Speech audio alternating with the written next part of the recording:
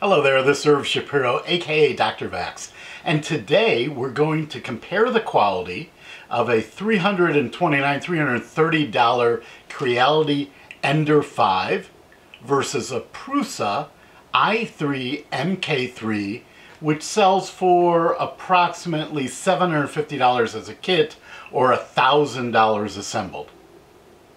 Okay, let's get started.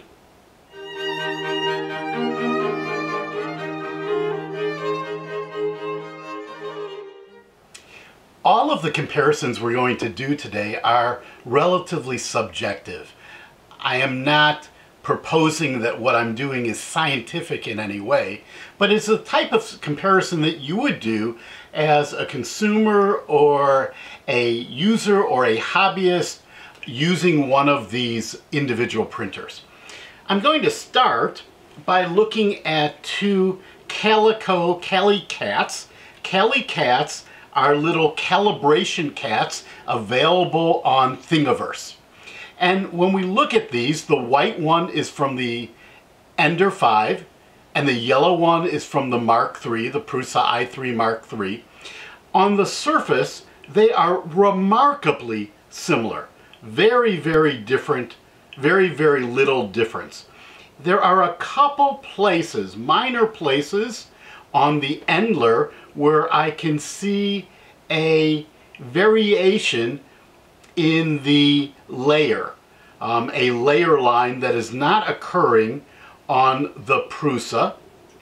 And at the very, very top, on these angled surfaces, uh, the quality is a bit better on the Prusa. But overall, there is no way that this yellow Prusa print is worth twice as much as this white Ender print. So very interesting. The other thing that's interesting is I used um, filaments in both these cases. Here's another one done on the Prusa, and this one is probably a better comparison because this was exactly the filament provided by Prusa with the printer, and this is the filament provided by Creality with their printer. So once again, not a scientific comparison. I should use identical filaments between the two. Probably I should tune each printer for them, but a very subjective comparison. They're both beautiful prints. Now we're going to try something a little more interesting. This is the Kickstarter Autodesk calibration model.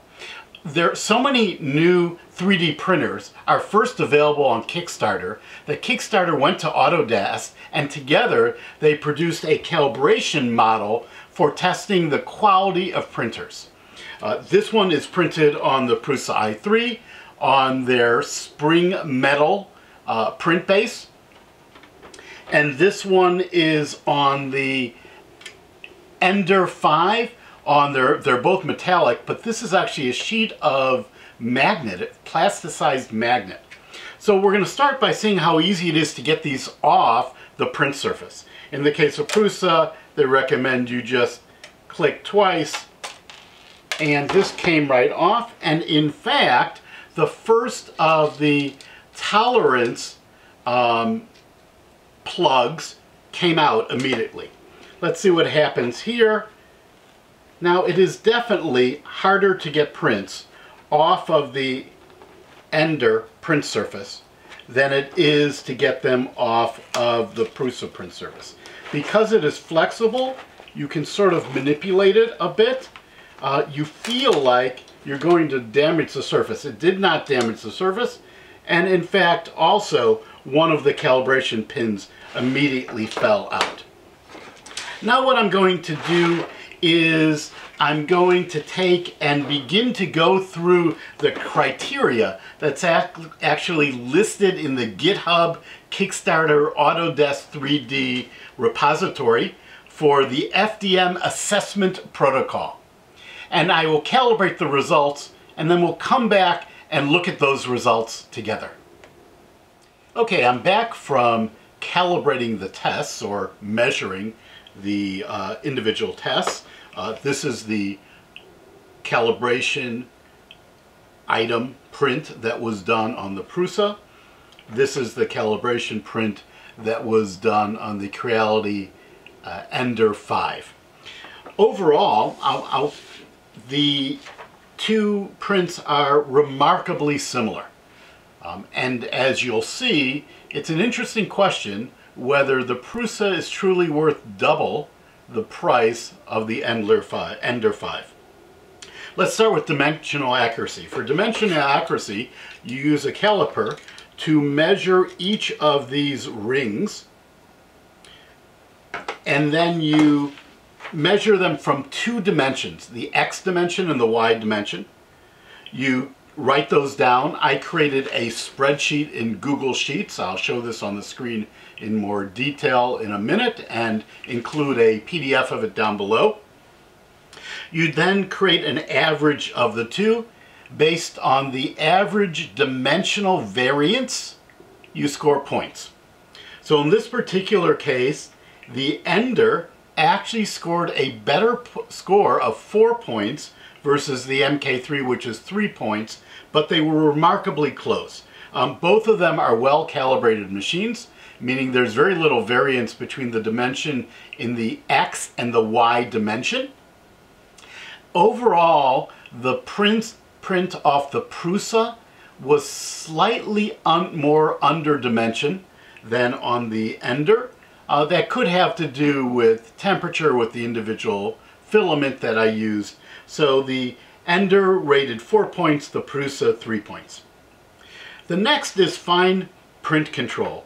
And fine print control, you look at the overall height of these towers here, these very fine towers. A couple of them look like they're shorter. In fact, I actually broke those off inadvertently. Both of these printers printed every tower to their maximum height. The primary difference is there was very, very little stringing on the Prusa print, and there was a lot of stringing on the Ender print. Once again, that could have been temperature or filament. Um, however, they were printed with the exact same temperature. Um, therefore, the Ender rated 2.5 points and the MK3 5 points. Uh, this is just about perfect. It is remarkable. Now, part of it is that I did use Simplify 3D, which does a very, very good job at very fine points uh, when slicing. The next was fine negative features. There are a series of plugs that go into holes that have a tolerance of 0.2 to 0.5 millimeters. In both cases, all of the pins came out. In fact, as soon as I took it off the print bed, many of them fell out. Um, the actual accuracy of these pins also is remarkably good. These are just really nice prints. Uh, so they both scored top scores of five points on those. In terms of overhangs, you look at the bottom of this slanting feature, which slants from 45 degrees to 30 to 20 to 15. And you want to see the difference of the quality between those. In this case, um, it was clear that the, um, the quality on the two prints were similar. However, the Prusa um, did rate just a little bit better. Um, there was a little bit more variation um, on the lower ones on the Ender 5. Then we looked at bridging. Bridging is these structures here. Um, they both, once again, were close to perfect. Um, and I rated them both a 4 out of 5. Now, these evaluations are a bit subjective, um, but we'll get a sense for this in a moment. XY resonance, that's whether there's ghosting or other issues uh, in the on the side structures on the X or the Y side. Um, both of them uh, were rated close to perfect. So I gave them both uh, 2.5 points. And then XY alignment, whether there were any artifacts going up the tower, and in both cases they were identical. So when I add these both up, the ender ended up with 23.5 points, that's this print. Really the stringing was the primary difference. And the MK3 was 26 points. So in terms of print quality, they both do a great job. So how do you decide whether to spend $200, $320 or to spend uh, $750? Well, part of it is convenience. I found the print surface on the Prusa much better. It was much easier to get prints off than on the Ender. The Ender was much harder. Uh, the Prusa auto calibrates and the Prusa both auto feeds and detects filament errors. So those three items are the primary differences, along with the fact that the Prusa has a higher temperature print head extruder, would indicate that it is a higher end printer. Then there's a subjective item, two subjective items. The Prusa ecosystem is much richer. Uh, their support is much, much quicker. I did sample support calls to both. The Prusa folks uh, returned my, I did it by email, returned my emails much more quickly. And then if we look back here, the Prusa could almost fit inside the Ender. So if you're limited to space, the Prusa is smaller. Is that worth about double the price?